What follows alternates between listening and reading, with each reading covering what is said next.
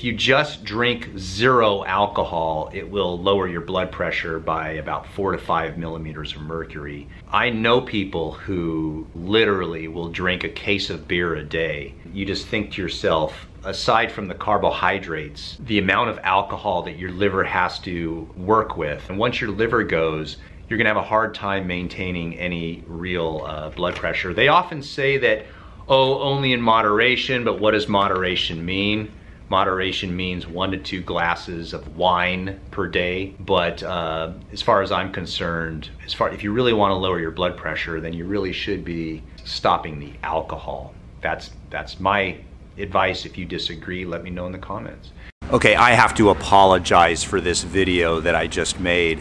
This was a small take of a larger video and I didn't realize how much that this would upset people when I said don't drink alcohol. And I think it needs a further explanation. I still think that if you really want to lower blood pressure, it's best to stay away from alcohol entirely. But let me explain the reasoning behind what I'm saying. And it's based on the research as well as some of my observations. Now, a small amount of alcohol, just a little bit of alcohol, can help you relax depending on the type of alcohol. It will actually stimulate nitric oxide production in our body. So temporarily, when you first have a, a small drink of alcohol, it will actually lower your blood pressure temporarily. But then your blood pressure will actually rise after that. The research is about 12 hours. So if you have a small glass of wine then it may reduce your blood pressure for some people for about 12 hours, but then your blood pressure goes back up. My observation, though, is that the majority of people are not drinking just a wee bit of alcohol every day. They're drinking a lot of alcohol. Okay, just got, got distracted there. Everybody's got e-bikes now. Have you noticed that? Isn't that the weirdest thing? I mean, as a cyclist, I'm okay with e-bikes because anytime people are on bikes, they're not running you over with their cars, but basically everybody's got a motorcycle or a moped now. Anyway, I got distracted. Here's the point, is that the majority of people are not drinking a little bit of alcohol to improve the flavor of their food. It's they're drinking a lot. Alcohol is considered a poison to your liver, and the liver is there to clean your blood. So the healthier your liver, the better able that organ is to actually clean your bloodstream. And when you use alcohol chronically over the long term, it actually raises your blood pressure. And I will put links down below in the description if you want to read further about this, you know, you don't have to believe what I say. You can do your own research. However, here's the important thing about alcohol and blood pressure. Depending on the research, you can make arguments for both. Alcohol lowers blood pressure, alcohol raises blood pressure. I mean, it just, it's so frustrating because depending on what you read, you can essentially find research to support any argument that you make. The majority of the research that says don't drink alcohol, actually, then people will say, well, that's, that's biased research and things of that nature. So you, you just can't win.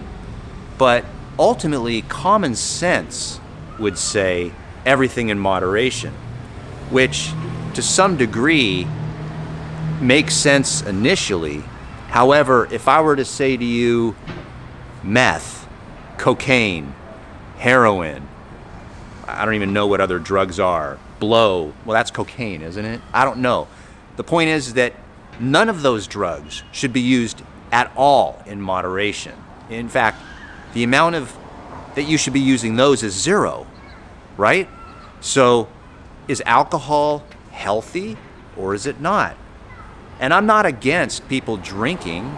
I'm just pointing out the facts that if you drink alcohol on a regular basis and are, you don't have a healthy relationship with alcohol, your blood pressure can go up five millimeters of mercury.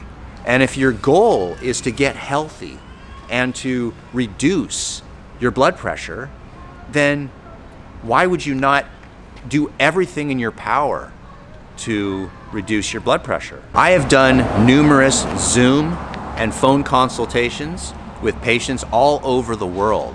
And if you have a question regarding blood pressure, you're more than welcome to call my office. I actually have an office. I actually have a phone number. You can actually reach me.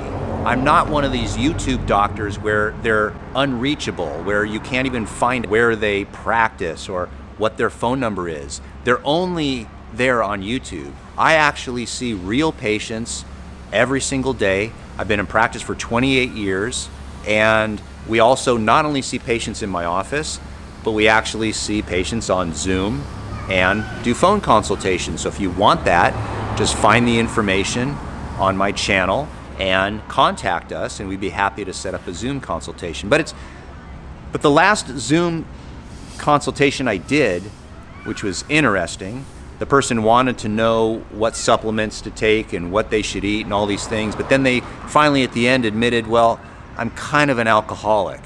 And I thought to myself, there's no such thing as kind of. If you think you're an alcoholic, you're probably an alcoholic. And I say, how many, what do you drink? And he says, well, I, and then he explained uh, how much he drank. And I thought, well, your liver can't be healthy drinking that much. And thus, you're going to have a hard time cleaning your blood. And thus, you're not going to be a healthy, as healthy of a person as you could be.